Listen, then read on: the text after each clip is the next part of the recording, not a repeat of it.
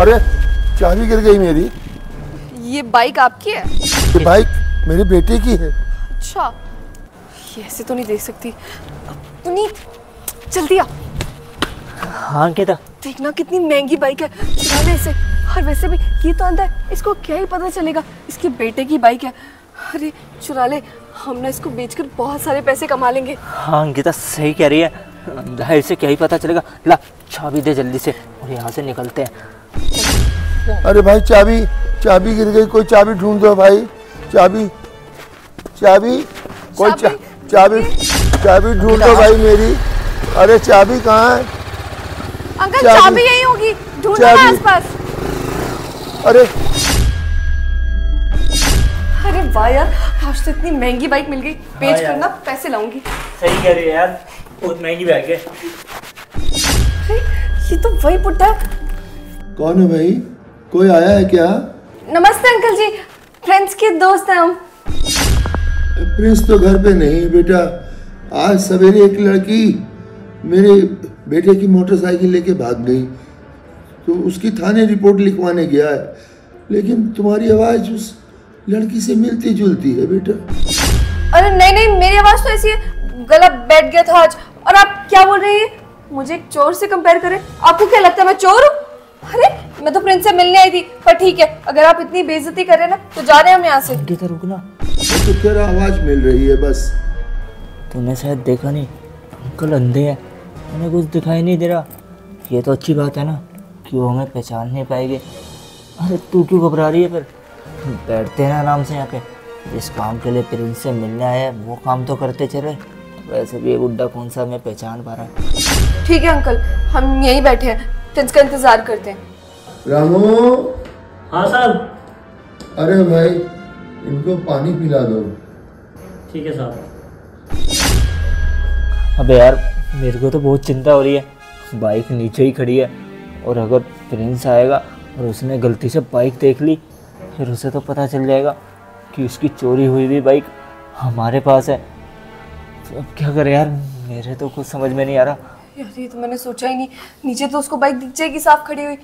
और अगर बाइक दिख गई और हम घर में दिखे तो पक्का उसे यही लगेगा कि हमने ही चुराई है।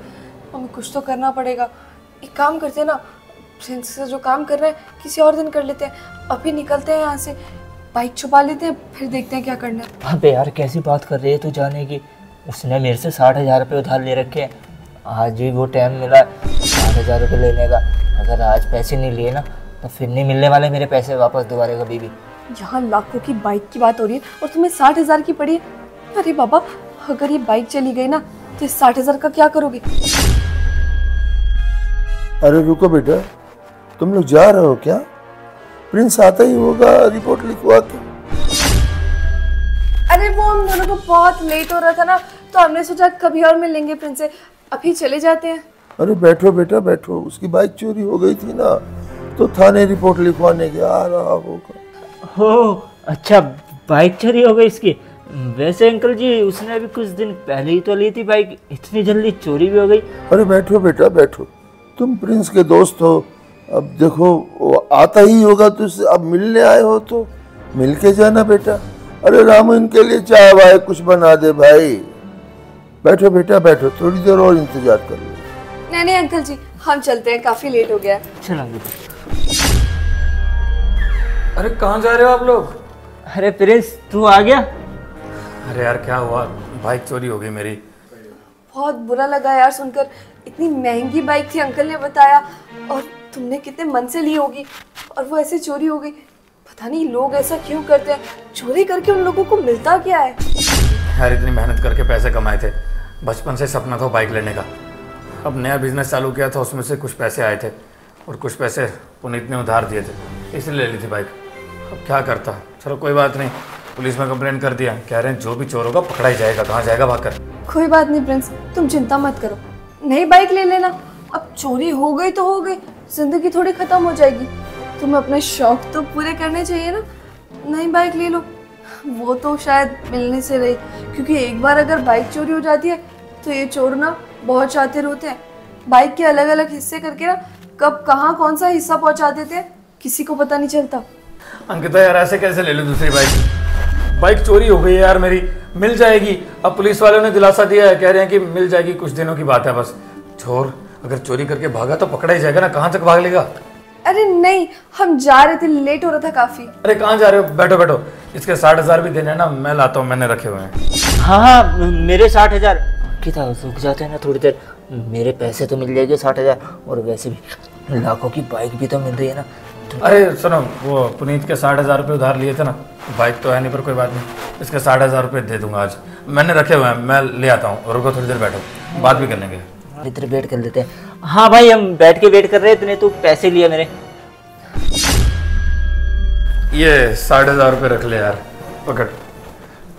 और हाँ वही बता रहा था यार बाइक का अगर तुम दोनों को भी कहीं पता चले तो बताना। पता है कितना मेहनत से ली थी यार वो मैंने बाइक? तेरे पैसे तक भी चुका नहीं पाया था। ये पैसे उसकी किस्त के लिए रखे थे। अरे कोई बात नहीं यार मिल जाएगी बाइक कहाँ जाएगी बाइक किसी ने चुराई होगी तो मिल ही जाएगी। बाकी तूने कंप्लेंट वगैरह भी तो लिखवाई है ना उसके खिलाफ? अंकल जी बता रहे थे। ये पैसे उसकी किस्तों के लिए रखे थे। सोचा था कि इस महीने की किस्त भर दूँगा लेकिन क्या करता? अब बाइक ही नहीं है तो पैसे का क्या करूँगा रख ले तो और इससे अच्छा तो पापा के ऑपरेशन में पैसे लगा देता। कोई बात नहीं पापा भी जल्दी ठीक हो जाएँगे। और पुनीत मैं जितना जानता हूँ कि तेरे पापा डॉक्टर है ना थोड़ा सा देख लेना उनकी कहीं जान पहचान में कोई अच्छा आई हॉस्पिटल हो तो पापा का हो जाएगा। बता देना। हाँ कोई नहीं मैं करता हूँ पापा से बात इस बारे में। ठीक है भाई। और हाँ अंकिता तुमसे बात करनी थी। मुझसे बात करनी है? बोलो ना। अंकिता देखो अब बाइक गई चलो कोई नहीं जाने दो। अब उसका दुख कब तक मनाऊँगा? अच्छा सुनो मुझे तुम बहुत पसंद हो। तुम्हें भी शायद मैं पसंद हूँ ना बोलो ना अंकिता। अच्छा मुझे भी तुम बहुत पसंद हो। मुझे पता था पहले से कि तुम मुझे पसंद करती हो। पापा ये वही लड़की है अंकिता जो मैंने आपको बताया था ना मैं जिसको पसंद करता हूँ। अब आप भी कह रहे थे कि मेरी शादी की उम्र हो गई है तो मैंने सोचा कि अब आपको बता दूँ। अच्छा अच्छा अच्छा। आज ये वही लड़की है? अरे बेटा तूने पहले क्यों नहीं बताया मुझे ये बात? है? हाँ आपका ऑपरेशन हो जाएगा जल्दी आँखों का फिर आप भी अपनी बहू को देख सकोगे। बहुत अच्छी है और दिल की बहुत साफ़ है। इससे कोई फ़र्क नहीं पड़ता कि मेरे हालात कैसे हैं कैसे नहीं। ये मुझसे बहुत प्यार करती है। और हाँ मैंने जब बाइक ली थी ना सबसे ज़्यादा ये खुश थी मेरे लिए कि इतनी महँगी बाइक ली है। और जब अब ऑपरेशन की बात करी है तब भी सबसे ज़्यादा खुशी इसके चेहरे पे थी कि पापा का ऑपरेशन हो जाएगा और पापा सब कुछ देख पाएँगे। अरे बेटा बहू की आवाज़ कितनी मीठी है ना? है? मेरी तो किस्मत ही खराब है। मैं देख ही नहीं पाता। अब तो बस जल्दी से मेरा ऑपरेशन करवा दे और मैं ठीक हो जाऊँ और तू इस बहू से शादी कर ले, फिर मैं अपने पोता पोतियों के साथ भी खूब खेलूँगा। हाँ। हाँ आपके ठीक होने से पहले मैं शादी नहीं करूँगा। शादी उसके बाद ही करूँगा। और बाइक गई है तो कोई बात नहीं। दोबारा आ जाएगी उसमें कौन सी बड़ी बात है? मैं मेहनत करूँगा और पैसे कमाऊँगा। यहाँ से निकलने का सोच पुनीत ये तो पता नहीं कैसी कैसी बातें कर रहा है मुझसे। हाँ तो तू पहले इसे कर लेना पसंद कर ले पहले इससे शादी। उसके बाद सोचो यहाँ से जाने का? यार ऐसी थोड़ी कह रही हूँ। मैं तो बस बात टालने के लिए कह रही थी ताकि ये पीछे ना पड़ जाए। अब हमें बाहर जाना है कुछ ना कुछ रास्ता सोचो ना। सबसे पहले तो हमें यहाँ से निकलना है। शादी वादी गई बाहर में। इसे तो मैं अपना मुँह ना दिखाऊँ कभी। तुम इससे शादी की बात कर रहे हो। बेटी एक बात बताओ। तुम्हें तुम्हें कैसा लगता है मेरा प्रिंस बेटा? जी अंकल जी मुझे तो प्रिंस पहले से ही पसंद है। इतने ईमानदार इतने मेहनती मुझे तो बहुत पहले से पसंद थे। और आज अगर ये ना बोलते ना तो मैं बोल देती। अब आप देखिए ना आपकी परवरिश कितनी अच्छी है। इसीलिए तो प्रिंस का नेचर ऐसा है। मैं तो बहुत खुश होंगी इस घर में आकर। मेरा बेटा लाखों में एक है। बहुत अच्छा है मेरा बेटा। अ, देखो अब मेरा ऑपरेशन भी करवाएगा। मैं ठीक हो जाऊँगा। है ना? मेरा बहुत ख्याल रखता है। बड़ा बड़ा गुणी है मेरा बेटा। हाँ। तुम्हें भी बहुत अच्छी तरह से रखेगा ये। अरे तुम दोनों को मेन चीज़ तो बताना ही भूल गया। इसीलिए तो रुकवाया था मैंने। ये देखो मैंने एक नया बिज़नेस चालू किया है। वो जैसे किसी के कपड़े पुराने हो जाते हैं सेकेंड हैंड हो जाते हैं ना तो वो कपड़ों को मार्केट में बेचना। ये देखो जैसे पुराना कुर्ता है ये हो गया। ऐसे नई नई शर्ट लेते हैं तो चार पाँच सौ तक आ जाती है ना। तो ये सेकंड हैंड मैं मतलब ऐसे रेडी वगैरह लगाऊँगा उससे सौ डेढ़ सौ रुपया तो आ ही जाएगा मतलब एक एक कपड़े का। तो इस हिसाब से देखो मैं पुराने कपड़े इकट्ठा करता हूँ सबके घरों के। तुम्हारे घरों में भी अगर पुराने कपड़े होंगे तो बता देना। एक बात बताओ तुमको मेरे बेटे का बिज़नेस कैसा लगा? है? हाँ मतलब अंकल जी अब ठीक ही है पर अजीब नहीं लगेगा? अंकिता क्या अजीब है इसमें? देखो कोई भी धंधा छोटा नहीं होता। पापा ने तो यही सिखाया हमेशा कि देखो अगर तंगी है तो कोई दिक्कत नहीं है। हमें सिर्फ़ पैसा कमाना आना चाहिए वो चाहे कैसा भी तरीका हो। और ये कौन सी गलत तरीका है यार? कपड़े तो है देखो ये शर्ट लाया था देखो ये थोड़ी सी मैली है इसको धोऊँगा ना तो मार्केट में इसका अच्छा रेट मिल जाएगा। सौ एक सौ बीस रुपये तक तो एक शर्ट चली जाएगी। ऐसे बहुत सारे कपड़े हैं। अगर इसमें से तुम्हें चाहिए तो बोलो ना पुनीत तुम्हें चाहिए इसमें से कुछ? अबे नहीं नहीं भाई। मेरे को नहीं चाहिए ऐसे कपड़े। ऐसे कपड़े तो मैं पहनता भी नहीं हूँ। और वैसे तेरे को क्या ज़रूरत पड़ गई? ये सब काम करने की, जो लोगों के कपड़े उठा उठा कर सौ सौ रुपये में बेच रहा है। अबे तेरे पे तो खुद पे इतनी महँगी बाइक थी। और मैं ऐसे कपड़ों का ना घर में पोछा भी नहीं बनाता। ऐसे कपड़े तो ना मैं ऐसे फेंक देता हूँ घर में। अगर तुझे चाहिए हो तो आ चाहिए कल मेरे घर में। मैं दे दूँगा तेरे को। और वैसे भी मेरे तो फेंकने में यूज़ होएगी ना। इससे बढ़िया तेरे काम आ जाएगी। और तू ऐसा मत सोचियो कि इसके बदले में मैं तेरे से पैसे लूँगा। मैं कोई पैसे भी नहीं लूँगा। बस तेरा काम चल जाए, मेरे लिए इतना ही काफ़ी है। अरे तो क्या हो गया? पहले महँगी बाइक चलाता था तो। अभी यार हालात के हिसाब से काम करना चाहिए। और ये बिज़नेस आगे जाके बड़ा भी तो हो सकता है ना। आज ये बेच रहा हूँ, आगे चल के अपनी खुद की दुकान भी होगी। धीरे धीरे सब सेटल हो जाएगा। देखो, पता है, पहले जो कंपनी चलाता था, उसमें कितना घाटा हो गया। अब एक रुपया भी नहीं है। तेरे साठ हज़ार रुपये उधार क्यों माँगता अगर इतना पैसा होता है मेरे पास तो? तो भी समझा करना। अंकिता वो छोड़ो तुम ये बताओ कि कैसा लगा तुम्हें मेरा बिज़नेस प्रिंस यार खुद ही सोचो ना कितना अजीब लगेगा। ये तुम गंदे से कपड़े बेचोगे तो गली गली जाकर अब क्या रेडी वाले बनोगे तुम? अंकिता तुमने तो कहा था कि तुम मेरे साथ शादी करने के लिए राज़ी हो अब क्या हो गया? प्रिंस बहुत हो गया यार। कब से सोने जा रही हूँ मैं? कह रही हूँ ना मुझे तुमसे शादी नहीं करनी मतलब नहीं करनी। और ये ऐसा काम करोगे तो और नहीं करनी। चलो पुनी हम क्यों बैठे हैं यहाँ? अंकिता। कम से कम इस नौकर को ही देखो। तुमसे तो अच्छा है। कम से कम उधारी पे तो नहीं चल रहा है। तो ही कम आ रहा है ना। और ऐसे ऐसे घटिया आइडिया नहीं ला रहा है। तुमसे शादी करने से अच्छा ना, मैं कुआरी रहूँ और एक बात खुद सोचो ना। आने वाले टाइम पे अगर हम दोनों का बच्चा हुआ तो क्या सोचेगा? मम्मी पापा ने इतना भी नहीं कमाया कि मुझे ढंग से रख सके। पापा एक दो कौड़ी का बिज़नेस करते हैं। और ये, जिसे तुम बिज़नेस कह रहे हो ना गली गली लोग घूमते हैं ऐसे कपड़े लेकर बेचने के लिए। अंकिता तुमने तो कहा था कि तुम्हारे पापा भी सब्ज़ी बेचते हैं। इसमें कौन सी गलत बात है अगर मैं कपड़े बेच रहा हूँ तो? और तुम्हें लग रहा है ना कि तुम्हारा ये बिज़नेस एक दिन बहुत बड़ा बन जाएगा? जाग जाओ सपने से ना बाहर आ जाओ क्योंकि ये चीज़ ना कभी आगे नहीं बढ़ सकती है। ये दो कौड़ी का काम ना हर इंसान कर रहा है। तुम कोई नए नहीं हो समझे? अरे हाँ एक काम करो तुम्हें इसके लिए कपड़े चाहिए होंगे ना? मेरे ना बहुत पुराने कपड़े पड़े हैं वो भी ले लो। और हाँ मेरा नौकर, उसे तो हम नए कपड़े देते ना, उसके पुराने कपड़े भी ना तुम रख लेना। या तो बेच देना, या पहन लेना खुद। और एक बात बताऊँ, अंकिता, वो तो अच्छा हुआ कि इसने मेरे साठ हज़ार रुपये दे दिए और हम सही टाइम पे यहाँ गए। वरना बाद में पता चलता, इस धंधे से तो मेरे पैसे भी नहीं निकलते। कहीं मेरे पैसे भी मर जाते, वो अलग। खैर अच्छा ही हुआ कि मेरे को मेरे पैसे मिल गए। कोई बात नहीं भाई, नया काम स्टार्ट कर रहा है। कॉन्ग्रेचुलेसन और अगर कुछ मदद वगैरह की ज़रूरत हो ना तो बताना। वैसे भी ना हम हर महीने बहुत सारे कपड़े फेंकते हैं। कुछ कपड़े तेरे को दे दिया करेंगे। तेरे तो काम आ जाएगी ना क्योंकि तू बिज़नेस स्टार्ट जो करने वाला है कपड़ों का। अरे वैसे भी कचरे में फेंकते ही है ना पुनीत। वो कचरा इसके काम आ जाएगा। उसी कचरे से दो तीन पैसे कमा लेगा ये। अब इसकी रोटी घर की उन्हीं कचरे के पैसे से तो चलेगी। क्यों? है ना प्रिंस चुप रहो। तुम्हारी हिम्मत कैसे हुई मेरे बेटे को ऐसा बोलने की? है? वो चोरी तो नहीं कर रहा है ना? बिज़नेस कर रहा है? पुराने कपड़ों का ही सही? खबरदार, मेरे बेटे को ऐसा बोला तो और शादी नहीं करनी मत करो। चले जाओ यहाँ से। चले जाओ। मेरा बेटा बहुत अच्छा है। मैं अंधा हूँ, लेकिन मैं उसे देख सकता हूँ। वो किसी को ऐसा नीचे नहीं दिखाता जैसे तुम लोग उसे दिखा रहे हो। तुम लोग दोस्त नहीं। उसके दुश्मन लगते हो मुझे। चले जाओ मेरे घर से। निकल जाओ। मेरे बेटे को देखो।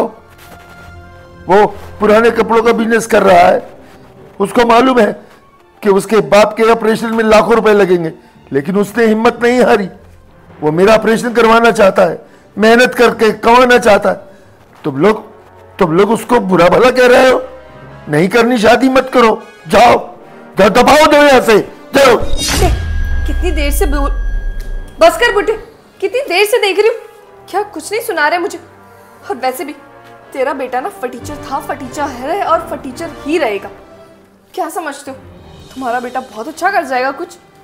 ये ना ऐसे ही रहेगा पूरी ज़िंदगी। बस करो अंकिता बहुत हो गया। पापा को ऐसा मत सुनाओ। और तुम्हें तो पहले फ़र्क नहीं पड़ता था ना मेरे हालात कैसे भी हो। तब शायद मेरे पास महँगी बाइक थी अच्छा धंधा चल रहा था इस वजह से हाँ बोला था क्या? तब तो मान गई थी शादी के लिए। अब क्या हो गया, अंकिता? अब क्यों ऐसे मुँह दिखा रही हो? अरे, कोई प्यार व्यार नहीं करती थी तुझसे। तूने बाइक दिखाई थी अपनी इतनी महँगी वाली। मुझे लगा अमीर होगा। पर अभी देखा तो देखो कैसी हालत है। और तूने क्या कहा था? मेरा बाप अंधा है। मुझे लगा, चलो कोई बात नहीं, अंधा हो, ना हो, मुझे क्या फ़र्क पड़ता है? मुझे तो बस पैसों से फ़र्क पड़ता है ना। और वो तुम्हारे पास है। पर आज जब पता चला ना कि एक घटिया सा बिज़नेस खोलने की सोच रहा है, और तेरे पास कुछ भी नहीं है, कंगाल है तू तो फिर तुझसे प्यार क्यों करूँ? फिर समझ आ गया कि तेरे साथ रहने से अच्छा ना अकेले रह लूँ मैं। अंकिता बस करो। एक काम करो ये सब पैसे रखो। पकड़ो। इतने सारे पैसे कहाँ से आए तुम्हारे पास? हाँ मैं कभी गरीब था ही नहीं। ये सब नाटक करे थे तुम्हारे सामने। मैं बताता हूँ तुम्हें। ये सब नाटक किया था हमने पापा के साथ मिलकर। और पापा कोई अंधे नहीं है। जब पापा को बताया कि अंकिता मुझे पसंद है पापा कहने लगे कि देख बेटा, तेरे पास पैसा है, शोहरत है, सब है। इस वजह से भी लड़की तुझे हाँ कर सकती है। लेकिन बेटा, जिसके साथ ज़िंदगी बितानी होती है ना, उसे अच्छे से जान लेना बहुत ज़रूरी है परखना बहुत ज़रूरी है। क्योंकि आज उसने अगर दौलत देकर हाँ बोल दिया, आने वाले समय में अगर हमारे हालात अच्छे नहीं रहे तो क्या वो हमारा साथ दे पाएगी? क्योंकि हमने एक एक चीज़ बनाने में बहुत टाइम लगाया था। इतने सालों साल लगे थे प्रॉपर्टी बनाने में। कोई पैदाइशी अमीर नहीं था मैं और ना पापा थे। ज़मीन तक नहीं थी खुद की। धीरे धीरे सब कुछ सेटल किया खुद। इसीलिए जब तुमने अचानक से मुझे शादी के लिए बोला था, तब मैंने सोचा कि, पापा से बात कर लेता हूँ। पापा से बात करी तो पापा ने कहा कि एक बार परख के ज़रूर देख। इसलिए नाटक किया अंधा बनने का। और तुम कुछ अजीब ही निकली। ऐसा सोचा नहीं था कि इतनी घटिया सोच निकलेगी तुम्हारी। तुम्हारे पापा खुद सब्ज़ी बेचते हैं। उनके बारे में सोचा दिन रात मेहनत करते हैं वो। खून पैसे ना बहाते हैं। सिर्फ़ तुम्हें पढ़ाने के लिए, तुम्हारी परवरिश के लिए। और तुम ऐसी सोच रखती हो। तुमसे तो ऐसी उम्मीद बिल्कुल नहीं थी, अंकिता। चलो कोई बात नहीं। वैसे भी मुझे अब लगता है कि तुमने कहा था ना कि तुम्हारी हैसियत नहीं है। कोई बात नहीं, अंकिता। सच में मेरी हैसियत नहीं है कि तुम जैसों को रखो। इसलिए प्लीज़ यहाँ से चले जाओ। और ज़्यादा पैसे की भूख है तो एक काम करो, ये पैसा भी रख लो। ओ सॉरी तुम्हें पैसा क्यों दूँ? ये तो मेहनत का पैसा है ना। पॉकेट में तो आया नहीं है। और हाँ पुलिस को फ़ोन मैंने कर दिया है। वो आ रहे होंगे। मेरी बाइक चुराई थी ना। कोई बात नहीं। चोरी की सज़ा में अंदर तो जाओगे तुम लोग। जुर्माना लगेगा बहुत लंबा। और पैसे भरते रहना फिर। प्लीज़ पुलिस को मत बताओ ना। अंकिता देखो पुलिस को फ़ोन मैं कर चुका हूँ पुलिस आती होगी। बाइक मुझे दिख गई थी मेरी। गलत जगह फंस गए है ना? तुम्हें लगा होगा कि ये बाइक किसी और की है। मेरी बाइक ही देखने आ रहे थे ना। जैसे मैंने तुम्हें बताया था कि मैंने बाइक ले ली है तो तुम्हें बहुत खुशी हुई थी। मुझे बहुत मक्खन लगाया गया था। अरे प्रिंस महँगी बाइक ले ली ये ले लिया वो ले लिया। बस मेरी बाइक नहीं देखी थी तुमने। और आज जब मेरी बाइक चुराई तब पकड़े गए। तुमने तो सोचा होगा, अरे, ये किस रईस की बाइक हाथ में लग गई है? अब तो इसे बेचकर लाखों रुपए आएगा। अंकिता, ऐसे नहीं। मेहनत करी है लाखों रुपये कमाने के लिए। दिन रात मेहनत करी है इतना पैसा कमाने के लिए। रात रात में अमीर नहीं हो गया था मैं। कोई बात नहीं। अब पुलिस ही समझाएगी तुम दोनों को। दोस्तों, यार शेयर का बटन वीडियो से शेयर कर दो हमारे पेज को फॉलो कर दो। फॉलो और शेयर कर देना बिल्कुल मत जाना। प्लीज़ कर देना। Love you all